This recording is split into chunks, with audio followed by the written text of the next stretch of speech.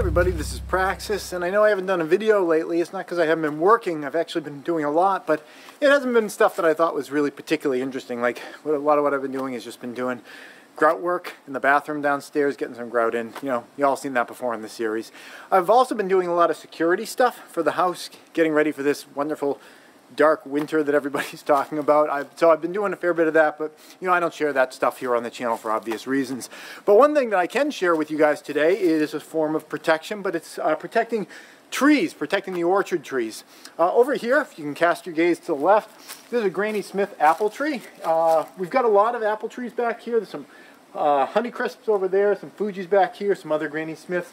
If you're ever planting your own orchard, I've read from reliable sources, though I've never tested this out myself, it's a good idea to plant uh, different varieties of trees near each other for proper pollination. If you think about the way genetics of apples work, uh, every variety of tree is kind of like an individual. Uh, so I guess if you had two Granny Smith trees, pollinating be kind of like having sex with yourself, which sounds like a bad idea. So um, it's a good idea if you're planting an orchard, have you know lots of different varieties. So I've got uh, it set out that way. And the way that I want to protect them here for the winter starts right down here. Uh, this is a little plastic collar. Uh, it is a, uh, a little wraparound thing. It's like kind of like a mesh. I'm going to put a, a, link in the description below to these. I, I, think these are pretty good ones because um, they can get set up in different ways where they can be wider or taller. And they kind of snap in with each other. They're kind of nice. Uh, and uh, the reason I'm doing that is because uh, last year I had a couple of trees that had uh, rodent damage. I think it was a rabbit because there were some rabbit poops nearby. Uh, just uh, chewing off the outer kind of cambium layer from the tree. They got hungry in the middle of the winter and you know you can eat you know certain types of barks. They were doing that and while my heart goes out to these cute little bunnies, I don't want them destroying an entire tree for one meal. So I've gotten these collars for all the trees. Now again, you know, it adds up if you're doing it that way. Each of these collars, is, it's only three bucks per tree, and if you think about it, the amount of money you spend buying a tree and all the time you invest in getting it going, I think it certainly makes sense to, you know, spend an extra three bucks and have a nice collar that'll keep it safe.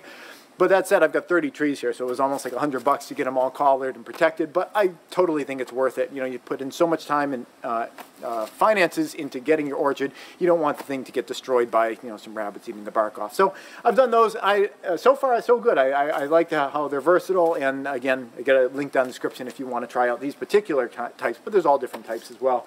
Uh, the other thing I'm doing today is protecting these guys. Uh, these are some peach trees. Um, these are from seeds of an heirloom peach variety that I got from my old homestead. I brought it down here, dropped uh, five, uh, five different seeds, started sprouting. I got one here, one here. There's a couple more in the pots over there. And what I'm doing for these guys, I'm going to keep them in the pots for this season. And what I want to do to protect the roots from the cold is kind of get them, get them into the ground just, just a little bit. Get them get them in there so like the, uh, the cold's not uh, hitting the roots quite as much. So just taking these guys, I'm digging into this this soft pile. This uh, this pile here is some debris that was like extra fill that was left over from the excavator people. Uh, they left it here, and I can use it to like patch holes and stuff. Eventually, I think I'm going to put some probably put some trees over here too once I, uh, I, finish up with this. But for now, it's just a really nice soft dirt that I can use to uh, temporarily uh, protect these guys for the winter. I've never tried this before, but it just kind of makes sense to me, so I figured I'd kind of share it with you guys.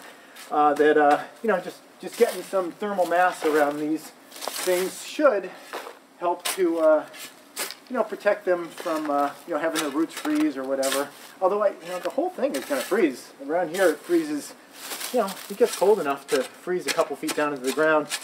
So, I don't know, it's kind of a precaution that I'm taking just to protect him. Even though here in New England, as you can see, this is how I roll. You know, this is how we all roll.